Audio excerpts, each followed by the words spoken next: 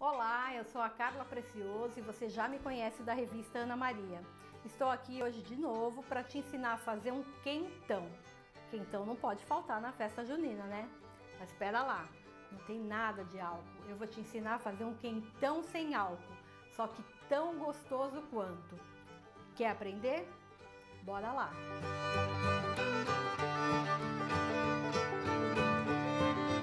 Antes de levar a mistura ao fogo, nós vamos colocar aqui nessa panela, que aliás pode ser uma panela, uma leiteira, como a gente está fazendo, a maioria dos ingredientes. Você vai precisar de duas xícaras de chá de água, água em temperatura ambiente mesmo.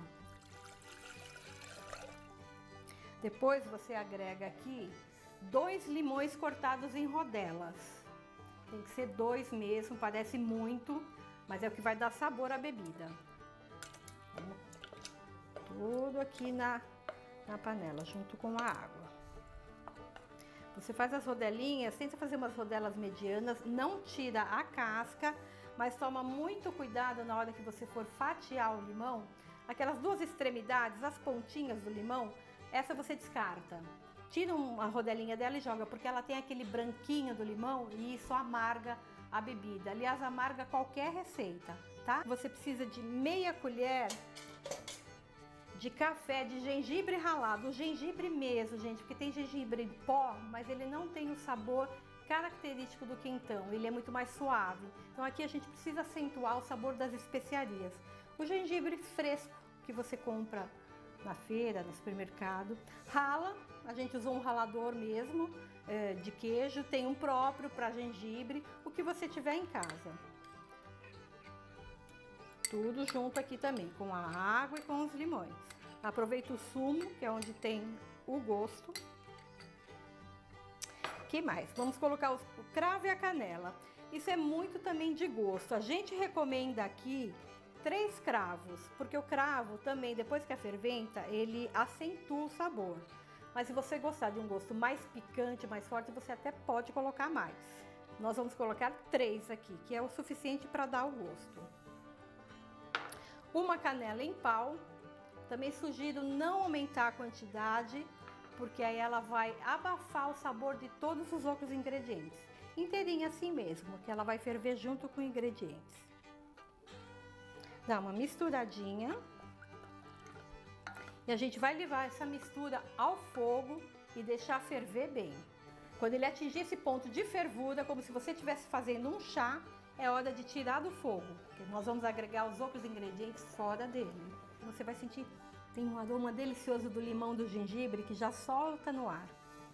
Uma colher e meia de sopa de açúcar mascavo. Coloca. Vale misturar primeiro para ela dissolver. E aí nós vamos entrar com o que? Com a essência de rum. É o que vai fazer às vezes da bebida alcoólica, só que sem teor alcoólico algum. Ele vai dar aquele aroma do quentão, mas sem nenhuma taxa alcoólica, pode ficar tranquila. Então, você, até criança, se gostar desse sabor característico da bebida, pode tomar. Tem que ser de rum, tá, gente? Duas colherzinhas de café.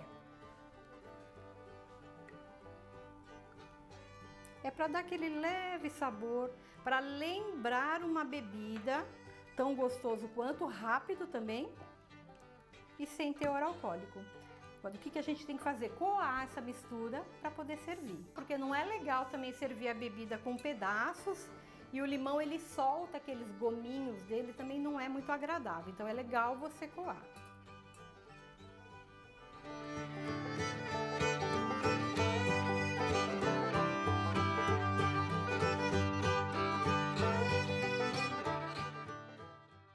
Vendo a corzinha da bebida? Não é igual a do quentão tradicional? Igualzinha. Feito isso, você dá só mais uma misturadinha, se bem que já tudo dissolveu. Tá pronta a nossa bebida.